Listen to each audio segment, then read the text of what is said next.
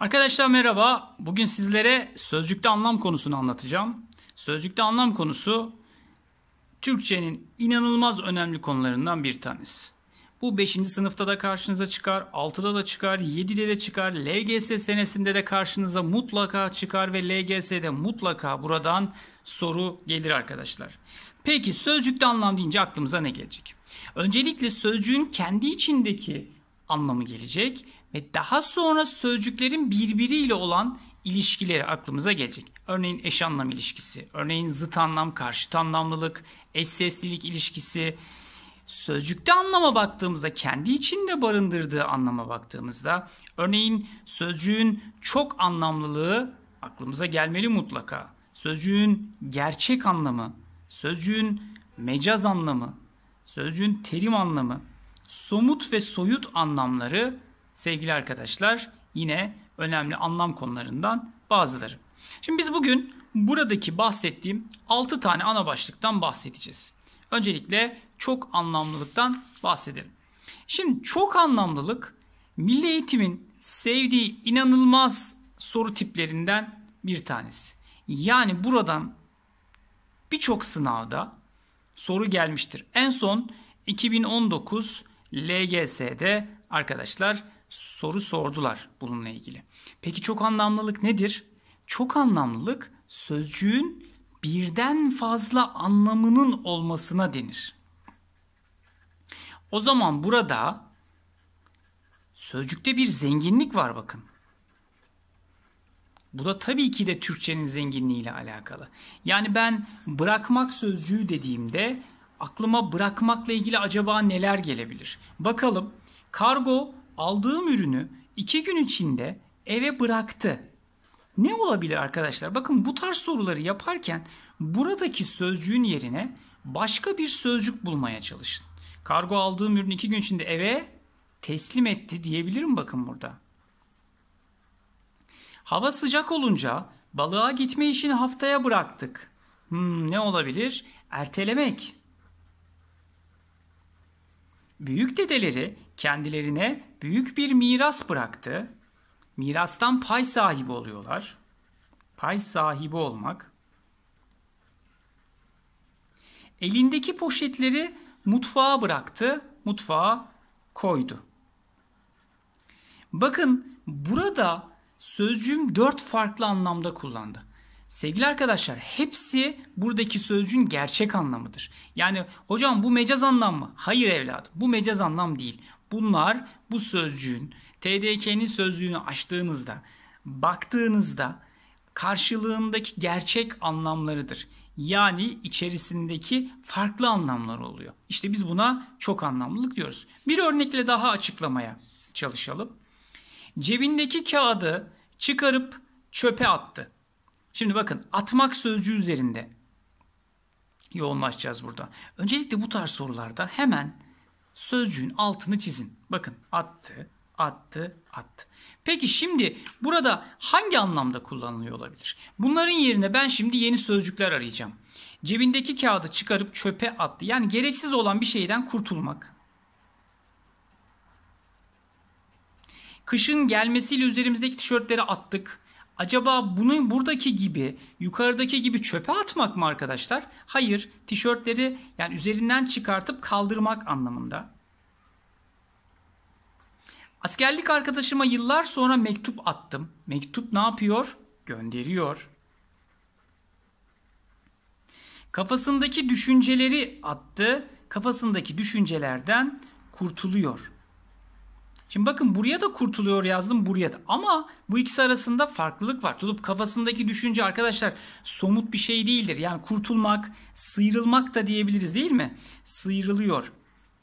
Artık o kötü şeyleri düşünmüyor. Ama burada elle tutulabilir olan bir şeyden kurtulmak anlamı var. Atmak, gereksiz olan bir şeyi çöpe atıyor burada. Yani hepsi farklı anlamlarda kullanılmış oluyor. Sevgili arkadaşlar bu tarz Soru tiplerinde neye bakacağız? Genelde ee, biliyorsunuz ki 4 şıkkımız var ve bu tarz genelde 4 tane cümle veriyor. Diyor ki kaç farklı anlamda kullanılmıştır? Sevgili arkadaşlar hani çok büyük bir sürpriz olması bu sorunun cevabı 3 ya da 4'tür. Bakın burada dikkat etmeniz gereken şey birbirlerinin yerine kullanılabilir mi kullanılamaz. Bakın burada kaç farklı anlamda kullanıldı? 4 farklı anlamda kullanıldı. Yani biz buna ne diyoruz? D şıkkı oluyor. Ama sorularda ne oluyor? Bazen C şıkkı da yani 3 ya da 4 eğer 5 cümle verdiyse 5 farklı anlam ya da 4 farklı anlam oluyor. Yani ya tamamı doğru oluyor ya da bir eksiği. Genelde e, bu şekilde soru tiplerinde karşımıza çıktığını görüyoruz. Ama tabii böyle bir genelleme yapmak da mümkün değil. Elbette ki bizim burada garantimiz ne olacak? Buradaki sözcüğün yerine ben başka bir sözcük bulabiliyor muyum, bulamıyor muyum? Buna bakacağım. Peki gelelim gerçek anlama. Gerçek anlam ne arkadaşlar? Gerçek anlam sözcüğün aklımıza gelen ilk anlamına deniyor arkadaşlar. Yani bir sözcük düşündüm ve bunu bana ne çağrıştırıyor? İşte ilk çağrıştırdığı anlama biz gerçek anlam diyoruz. Bir sözcüğün aklımıza gelen ilk anlamına gerçek ya da ne diyormuşuz? Temel anlam diyoruz arkadaşlar. Örneğin burada örnekler yazdım sizler için. Çelik kapılar hırsızlar için caydırıcı bir unsurdur. Bakın burada kapı sözcüğü gerçek anlamda kullanılmış. Dükkanın içinde gözleriyle bir şeyler aradı. Bakın burada aramak ifadesi bulmaya çalışmak anlamında gerçek anlam olarak kullanılıyor.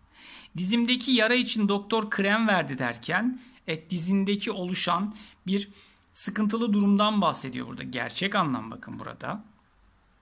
Mesela bu olay içime yara oldu deseydi orada nasıl olurdu arkadaşlar? Tabii ki de mecaz anlam olurdu. Yolculuğumuz her zaman keyifli geçti. Burada da keyifli sözcüğümüzü alalım. Burada da keyifli, yani mutlu, güzel geçti anlamında. Tabii ki de burada da gerçek anlam olarak kullanıldığını görüyoruz. Peki mecaz anlama geçelim o zaman. Mecaz anlam arkadaşlar diğer adıyla değişmeceli anlam. Yani buna değişmeceli anlam da diyebiliriz. Yani ne demek bu değişmeceli? Sözcüğün anlamı tamamen değişiyor. Bakın yeni bir boyuta taşınıyor. Çok farklı bir anlama bürünüyor. Yani sizin o kullandığınız ilk anlamıyla o deminki gerçek anlamda kullandığımız gibi değil arkadaşlar. Bir sözcüğün gerçek anlamından bakın tamamen uzaklaşarak cümle içinde kazandığı yeni anlama biz ne diyoruz? Mecaz anlam diyoruz. Şimdi yazı deyince aklınıza ne geliyor? Yazı mesela. E, yazı yazma işi değil mi arkadaşlar? Bakın burada söylemimde ne var? Gerçek anlam. Onun yazısı da bu hasreti çekmekmiş. Bakın burada yazı kader anlamında kullanılmış. Ha, o zaman bu ne oluyor? Mecaz anlam oluyor. Oldukça kapalı bir çevrede yetişmiştim. Kapalı burada sosyal olmayan, içe dönük değil mi arkadaşlar? İçe dönük. Peki bunun kapalı kapalı mesela dükkan kapalıydı dediğinde gerçek anlam olur. Ama bununla onun alakası var mı? Yok arkadaşlar. Bakın burada da mecaz anlam olarak kullanılmış. Konuyu kapatalım. Yaramı daha fazla deşmeyin. Bakın bir önceki örneğimizde ne vardı arkadaşlar? Hemen getireyim şöyle. Dizimdeki yara için doktor krem verdi dediğinde bakın burada gerçek anlamda kullanırken burada konuyu kapatalım, yaramı daha fazla deşmeyin derken yani rahatsız olduğu bir durumdan bahsediyor. Rahatsız olduğu durum. E o zaman bu da mecaz anlam oluyor sevgili arkadaşlar. Ondan haber alamayınca hepimiz yıkıldık. Yıkılmak binanın yıkılması gibi değil herhalde. Üzülmek anlamında bakın burada da kullanılmış. E o zaman ne oluyor? Bu da mecaz anlam olarak kullanılmış oluyor. Bakın anlamlar tamamen ne oldu? Yeni bir anlam kazanmış oluyor. Devam edelim arkadaşlar. En çok kullanılan örnekler kas katı bir yüreği sıcacık bir gülümseme eritir. Bakın burada sıcacık ifadesi yine mecaz anlamda kullanılmış. Sıcacık samimi anlamında kullanıyor burada. Havanın sıcak olmasıyla alakalı bir durum değil. Büyüklerini kırmazsan sen de kırılmazsın. Bir şey mi kırıyor arkadaşlar? Hayır burada yani onları üzmek anlamında kullanmış. Evet bu da mecaz anlam. Ahmet kendine yeni bir yol çizdi. Arkadaşlar bir şey mi çiziyorum? Hayır. Burada yeni bir yol belirlemek anlamında kullanmış. Bu da mecaz anlam. Takım ile taraftar arasındaki bağ koptu. Bağ ve bu ayakkabı bağı mı? Tabii ki de hayır. Ne oluyor? Bu da mecaz anlam. Yani burada ne anlamında kullanmış? İlişki anlamında kullanıyor. Artık rüzgar sert esiyor. Bakın zemin sert arkadaşlar. Ama rüzgar sert esiyor derken kuvvetli esiyor anlamında kullanıyor burada. Yani bu da mecaz anlam olmuş.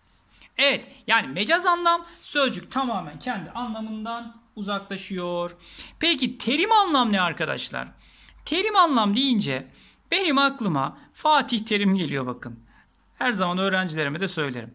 Neden? Ya Fatih Terim bir spor adamı değil mi? Evet. Neyle ilgileniyor? Futbolla. Peki futbolun kendine özgü terimleri var mı? Elbette ki var. Bakın bir bilim, sanat. Bakın bu bilim ne olabilir? Bu bilim fen bilimleri olabilir, sosyal bilimler olabilir, matematik bilimleri olabilir, sanat, tiyatro olabilir, resim olabilir, sinema olabilir. Meslek dalıyla veya bir konuyla ilgili meslek dalı, tıp, işte hukuk alanı değil mi? Bir konuyla ilgili özel ve belirli bir kavramı karşılayan sözcüklere biz terim anlamlı sözcükler diyoruz. O zaman ne olacak arkadaşlar? Belli bir alanla ilgili olacak. Mesela futbol dedin. Aklına ne gelecek? Offside. Aklına ne gelecek? Touch. Aklına ne gelecek? Korner. Mesela matematik bilimleri. Aklına ne gelecek? İşte açı, derece, doğrusal açı, karekök değil mi? Bakalım Burdur'daki depremde 4 kilometre fay kırığı oluşmuş. Bakın burada enteresan olan kelime hangisi? Fay kırığı bakın arkadaşlar. Coğrafya ile alakalı. Terim anlam. Karaciğerindeki tümör derhal alınmalı dedi doktor. Bakın burada tümör tıpla ilgili. Yunus Emre'nin dizeleri her zaman aklımdadır. Dize neyle alakalı? Şiirle. Peki şiir nerede var? Edebiyatta var tabii ki de. Yapım ekleri eklendiği sözcüğün anlamını değiştirir. Burada da bakın yapım ekleri hangi dersle ilgili? Tabii ki de Türkçe ile alakalı ve bu da terim anlamlı bir sözcük olarak kullanılmış arkadaşlar. Peki arkadaşlar sizler için faydalı olacağını düşündüğüm için başlıkları bu şekilde oluşturmaya çalıştım. Örneğin matematikle ilgili ne var? Doğal sayılar var mı? Var. Kare var mı? Var. Polinom var mı? Var. Karekök var mı? Var. Ondan sonra üslü sayılar var mı? Var. Arttırabiliriz arkadaşlar. Ama en çok mesela açıyı buraya yazmamışız. Açıyı yazabiliriz arkadaşlar. Açı da sorularda karşımıza çok çıkıyor. Tiyatro olmazsa olmazı perde.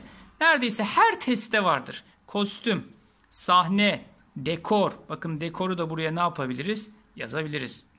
Müzik, nota her zaman çıkar. Akor, sol anahtarı bakın bunlar hep müzikle ilgili. Coğrafya, meridyen, paralel, ölçek, izoips, dünya, boğaz. Bakın bunlar da tamamı coğrafya ile ilgili terimsel ifadeler. Resimle ilgili mesela portre, palet, tuval değil mi arkadaşlar? Guaj, futbolda touch, foul, gol, penaltı, offside. Yani burayı ne yapabilirim arkadaşlar? arttırabilirim. Yani bir sürü buraya özel ifadeler ekleyebiliriz. İşte bu tarz sözcüklere biz terim anlamlı sözcükler diyoruz. Ve bu terim anlamlı sözcükler bazen e, birçok alanda ortak da kullanılabiliyor. Örneğin kök hücre tedavisi gördü derken arkadaşlar bakın buradaki kök fen bilimleriyle alakalı. Fen bilimleriyle alakalı. Kök 4 kök dışına 2 olarak çıkar. Bakın buradaki kök 4 matematikle ilgili. Kök dediği arkadaşlar şudur. Bu işaret. Verilen kelimelerin köklerini bulunuz. Bakın burada da edebiyatla ya da Türkçe ile ilgili, Türkçe dersiyle aynı öğretmen ilk çizgileri ve doğru parçasını anlattı. Bakın burada doğru parçası yine matematikle alakalı. Oyunun birinci perdesi bitti. Bakın burada perde ne ile alakalı? Tiyatro ile alakalı. Kas perde ayaklı bir hayvandır derken aynı bakın aynı kelime ama farklı bir alanda kullanılıyor. Nerede kullanılıyor arkadaşlar? Hayvan biliminde kullanılıyor. Ha, demek ki aynı sözcük olsa da farklı bilimlerde kullanılabiliyor arkadaşlar. Bakın burada perde, burada da perde yine aynı şekilde kullanılmış sevgili arkadaşlar. Geçelim somut anlamlı sözcüklere. Somut anlamla soyut anlamı hala karıştırıyorum ben hocam diyen varsa ne yapacağız arkadaşlar? Somut bakın maddeleştirebildiğiniz arkadaşlar. Madde halinde doğada bulunan ama soyut dediğinizde madde halinde doğada bulunmayan. Beş duyu organımız olan göz, deri, kulak, dil ve burundan en az biriyle bakın en az burada önemli. İlla hepsiyle algılayacağım diye bir şey yok arkadaşlar. Varlıkları karşılayan sözcüklere somut anlamlı sözcükler denir. Yani bir başka deyişle elle tutabiliriz, gözle görebiliriz, yeri gelir koklarsın, yeri gelir tenine değer değil mi? Bunlara biz somut anlam diyoruz. Bakın somutu neyden aklımızda tutacağız? Maddeleştirebildiğimiz sözcükler.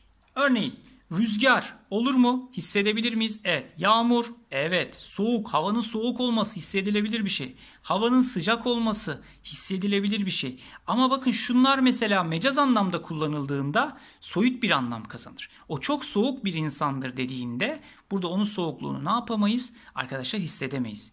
Ya da çok sıcak bir insandır dediğinde burada da yine hissedemeyiz. Yani bunu ben nerede değerlendireceğim o zaman? Kullanıldığı cümlede değerlendiriyorum. Ekşi tadabiliriz. Acı yine acı olarak yani tadabildiğimiz bir şeyse evet somut. Ama acı bir olay yaşadı dediğinde bunun soyut bir anlam kazandığını anlıyoruz. Çiçek, gürültü, aydınlık, karan, karanlık, mavi, koku, uzun, deniz. Değil mi arkadaşlar? Bakın bunların hepsini algılayabilirim. Hepsi de somut anlamlı olarak kullanılmış. Peki son olarak soyut anlam nedir arkadaşlar? Soyut anlamda 5 duyu organımızdan herhangi biriyle algılanamıyor. Bakın burada Y var. Yok. Yok arkadaşlar. Doğada bunlar yok. Göremiyoruz. Ee, ispatlayamıyoruz bunları. Bakın genellikle duygular karşımıza çıkıyor zaten. Beş duyu organımızdan herhangi biriyle algılayamadığımız kavramları ifade eden sözcüklere soyut anlamlı sözcükler denir. Duygular kin, iyilik, kötülük, nefret, acı. Bakın demin acı somutta da vardı ama orada tadabildiğim bir şeyse. Duygu olarak alırsam soyut olur. Kıskançlık, ayrılık, özlem, aşk. Bakın buraya mesela rüyayı da ekleyebiliriz. Hocam rüyayı görüyorum. Hayır evladım rüyayı görüp görmediğimiz kesin değil. Buraya mesela melek yazabilirsin. Buraya şeytan yazabilirsin. Buraya Allah yazabilirsin. Yani göremediğimiz şeyler, hissedemediğimiz şeyler olduğu için arkadaşlar bunların tamamı da soyut anlamlı sözcükler olarak karşımıza çıkıyor. Evet arkadaşlar bugün sizlerle sözcükte anlam konusuna değindik ve bütün ana başlıklarını anlatmaya çalıştık. Bakın sözcükte anlam dedik dersimizin başında. Çok anlamlılık evet cepte. Gerçek anlam cepte. Mecaz anlam cepte. Terim anlam cepte. Somut ve soyut anlamda cepte arkadaşlar. Evet arkadaşlar bir sonraki videomuzda görüşmek dileğiyle hepiniz hoşçakalın. Kendinize çok çok iyi bakın.